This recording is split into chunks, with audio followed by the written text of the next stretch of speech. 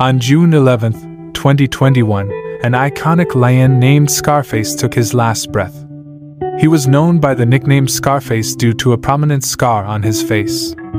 The scar on Scarface's face was the result of a fierce battle with a larger male lion. Scarface emerged as the winner of the fight but had to pay the price with a serious injury that left a scar on his face.